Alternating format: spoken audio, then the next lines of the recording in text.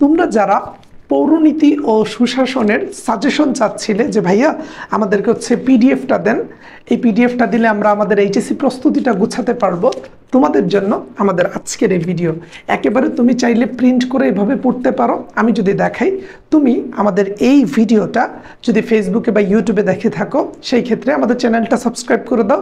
ফেসবুকে দেখলে তুমি তোমার এইচএসসিতে পড়ুয়া বন্ধুকে কমেন্টে মেনশন করে দাও, যার পৌরনীতি ও সুশাসন আছে কিংবা লাগবে এবং ভিডিওটা তোমার টাইমলাইনে শেয়ার করে ফেসবুক পেজে এস এম এস করলে আমরা তোমাকে পিডিএফটা দিয়ে দিব। আর ইউটিউবে থাকলে তুমি ফার্স্ট কমেন্টটা চেক করো। আমরা তোমাকে একটা ড্রাইভ লিঙ্ক দিব। ড্রাইভ লিঙ্কটাতে তুমি ক্লিক করার পরে চলে আসবে সিভিক্স ফার্স্ট পেপার এবং সেকেন্ড পেপার সেক্ষেত্রে তুমি ফার্স্ট পেপারে যখন ক্লিক করবা, তখন তুমি সিভিক্স ফার্স্ট পেপারের সাজেশনটা পেয়ে যাবা। আমরা কি রেখেছি এই সাজেশনে এইটা হচ্ছে মূল কথা। সো আমরা এখানে যে কাজটা করেছি, আমরা বিগত বছরে আসা এইচএসসি বোর্ড পরীক্ষার প্রশ্নগুলোকে দিয়েছি। আমরা যেটা করেছি, আমরা আমাদের সাজেশনের মধ্যে বিগত বছরে পৌরনীতি প্রথম পত্র প্রথম অধ্যায়ের যে প্রশ্নগুলো বোর্ডে এসেছে, সাইডে সাইডে আমরা লিখে দিয়েছি।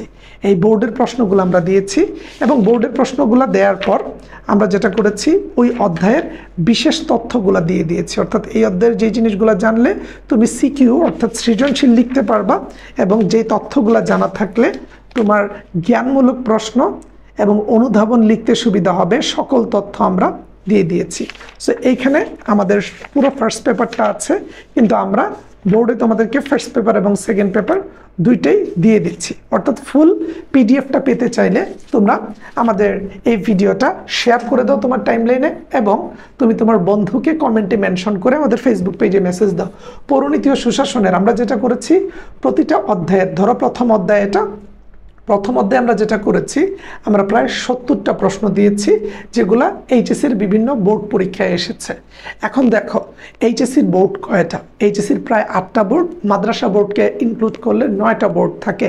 এখন নয়টা বোর্ডের মধ্যে এইচএসির প্রথম পত্রের অর্থাৎ পৌরনীতি প্রথম পত্রের যত গুরুত্বপূর্ণ এমসিকিউ আসার মতো ছিল, বিগত বছরগুলাতে কিন্তু ওনারা দিয়েছেন সো ওই তথ্যগুলা যদি তোমার জানা থাকে, যে প্রশ্নগুলা এইচএসি বোর্ড পরীক্ষায় এসেছে, সেগুলা টিচাররা গুরুত্বপূর্ণ বলেই কিন্তু সেই প্রশ্নগুলো দিয়েছিল।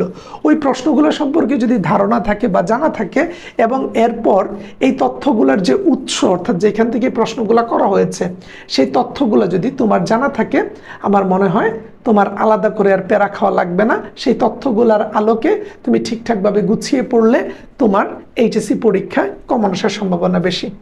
পরবর্তীতে তৃতীয় অধ্যায় দেখো, আমরা একেবারে বোর্ড পরীক্ষার সাল সহ ইন্ডিকেট করে দিয়েছি। ধরো, উনিশশো একাত্তর সালে বাংলাদেশের স্বাধীনতা অর্জন কি ধরনের স্বাধীনতার উদাহরণ? এটা ঢাকা বোর্ড বাইশ এবং যশোর বোর্ড উনিশে আসছিল। তো এটা হচ্ছে তোমার জাতীয় স্বাধীনতার উদাহরণ। খেয়াল করে দেখো যে প্রশ্নটা যশোর বোর্ডে উনিশে আসছিল, সেটাই ঢাকা বোর্ড বাইশে এসেছে। কেন আসতেছে?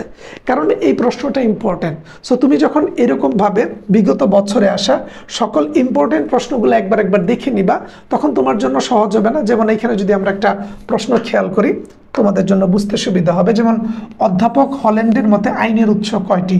সেটা হচ্ছে ছয়টি। এটা সিলেট বোর্ড বাইশে আসছে, দিনাজপুর বোর্ড বাইশে একুশে আসছে চট্টগ্রাম বোর্ড একুশে আসছে, রাজশাহী বোর্ড এবং যশোর বোর্ড উনিশে আসছে। তাহলে একটা প্রশ্ন অলরেডি পাঁচবার এসেছে। তার মানে এই বছর প্রশ্ন আসলেও এই অধ্যাপক হল্যান্ডের স্বাধীনতার উৎস থেকে আসতে পারে কিংবা প্রকারভেদের থেকে যে কোনো একটা নাম দিয়ে বলতে পারে। নিচের কোনটি? হল্যান্ডের স্বাধীনতার উৎসের মধ্যে পড়ে না। তাহলে ওই ছয়টা জিনিস জানতে হবে। এখন এগুলো আমরা কই জানব ভাইয়া? এগুলো তো আমরা যেটা করেছি, বিগত বছরে আসা এইচএসসি বোর্ড পরীক্ষার প্রশ্ন দিয়েছি এবং পরে বিশেষ তথ্যগুলো দিয়ে দিয়েছি। যেখান থেকে তুমি একেবারে সব কিছুর সোর্স সম্পর্কে জানতে পারবা। যেমন আইনের ধারণা, উৎস, একেবারে সব কিছু এখানে দেয়া আছে। এগুলো পড়লে তোমার আলাদা করে আর প্রেশার নিতে হবে না। প্রতিটা অধ্যায়ের বিগত বছরে এইচএসসি বোর্ড পরীক্ষায় আসা বিভিন্ন প্রশ্ন আমরা দিয়েছি। যেমন এই অধ্যায়ে তুমি যদি খেয়াল করো, প্রশ্ন আছে প্রায় একশো তিরিশটা। তারপর এই অধ্যায়ের গুরুত্বপূর্ণ তথ্য আমরা দিয়ে দিয়েছি। সো এরকমভাবে সম্পূর্ণ সিলেবাস গুছিয়ে দেওয়ার চেষ্টা করেছি যাতে করে তোমার ভর্তি প্রস্তুতিটা সহজ হয়, তোমার এইচএসসি পরীক্ষাটা ইজি হয়। কারণ এইচএসসি পরীক্ষার পরেই তুমি ঢাকা বিশ্ববিদ্যালয়ের ভর্তি পরীক্ষা দিবা। আর আমরা চাচ্ছি ঢাকা বিশ্ববিদ্যালয়ের ভর্তি পরীক্ষাটা তুমি আমাদের সাথে দাও। সাজেশনগুলো পরে তোমার এইচএসসি প্রস্তুতিটাকে আগে গুছিয়ে নাও। সো তোমরা অনেকেই আছো যারা চাচ্ছ যে, ভাইয়া, আমি সেকেন্ড পেপারটাও পড়ব।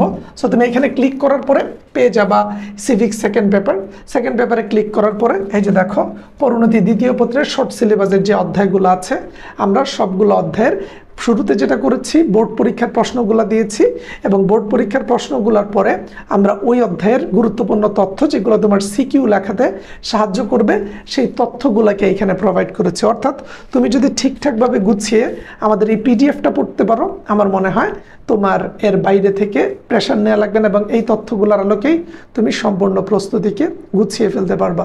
আমরা এখানে সকল তথ্য খুব গুছানো আকারে দিয়ে দিয়েছি। একেবারে বিগত বছরের সকল প্রশ্ন এখানে দেয়া আছে। ঠিক আছে? দেখো তোমার, আলাদা করে কিন্তু আর কোনো প্রেশার নিতে হবে না।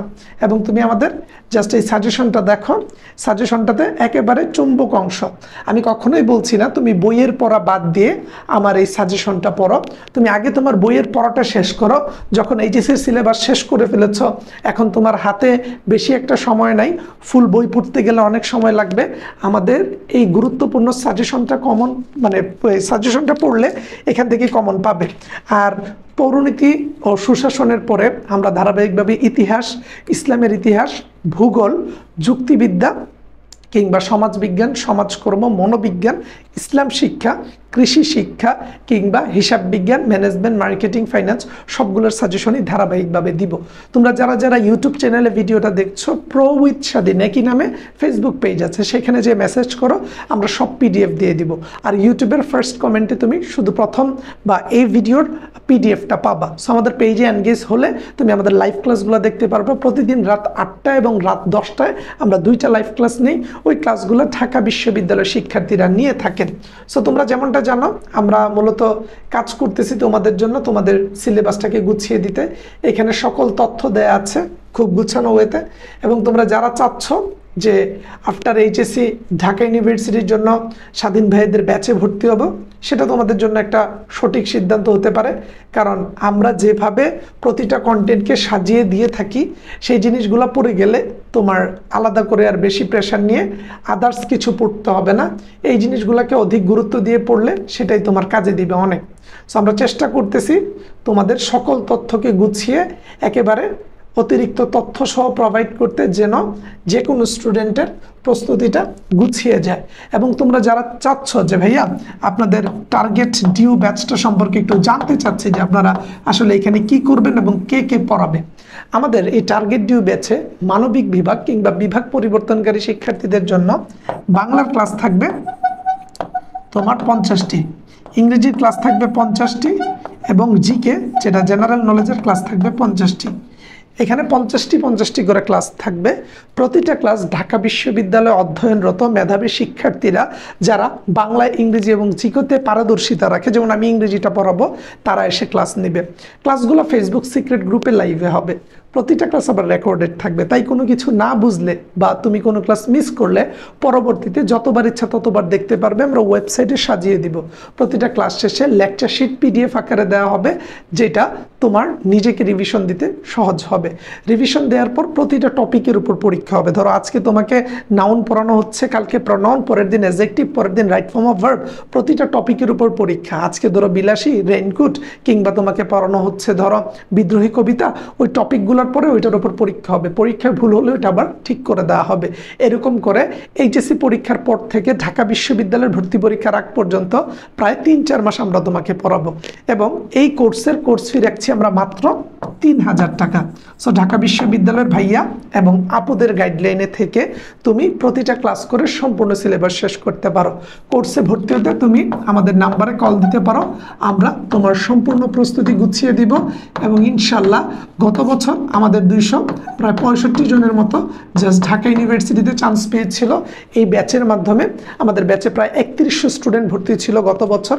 বাট এইবার আমরা তোমাদের অপেক্ষায় আছি। তোমাদের স্বপ্ন পূরণ করতে টার্গেট ডিউ ব্যাচের মাধ্যমে একজাক ঢাবিয়ানরা, যারা ঢাকা বিশ্ববিদ্যালয়ে পড়াশোনা করছে, তারা মুখিয়ে আছে তোমার সম্পূর্ণ সিলেবাস গুছিয়ে দেওয়ার জন্য। সো ভর্তি হতে চাইলে এই নাম্বারে কল দিতে পারো। পেজে ইনবক্স করতে পারো। আমরা তোমার ভর্তি কার্যক্রমটা শেষ করে রাখি। আর আমাদের সাজেশনগুলোকে একটু গুরুত্ব দিয়ে পড়বা। কারণ এই সাজেশনগুলো যদি তুমি শেষ করতে পারো, তাহলে আমরা তোমার ভর্তি পরীক্ষায় ভালো করার ক্ষেত্রে আরও বেশি সহায়তা করতে পারব। এটা হচ্ছে পৌরনীতি, এখানে আমাদের অর্থনীতি সাজেশনটাও আছে। এই যে অর্থনীতি ফার্স্ট পেপার এবং সেকেন্ড পেপারের ফুল সাজেশনটা এখানে দেওয়া আছে। সো আমরা প্রতিটা জিনিসের সাজেশন অলরেডি প্রিপেয়ার করে ফেলেছি ফর ইউ সো তুমি যদি এই সাজেশনগুলো পেতে চাও, আমাদের ভিডিওটা তোমার টাইম লাইনে শেয়ার করে দাও। তুমি তোমার বন্ধুকে কমেন্টে মেনশন করে পেজে মেসেজ দাও যে, ভাই, আমার পিডিএফটা লাগবে, আমরা পিডিএফটা প্রোভাইড করি। সেই অনুযায়ী তুমি এইচএসসি প্রস্তুতিটা নাও। আফটার এইচএসসি ঢাকা বিশ্ববিদ্যালয়ের স্বপ্নটা ইনশাল্লাহ আমরা হাতে ধরে পূরণ করে দিব। আসসালামু আলাইকুম।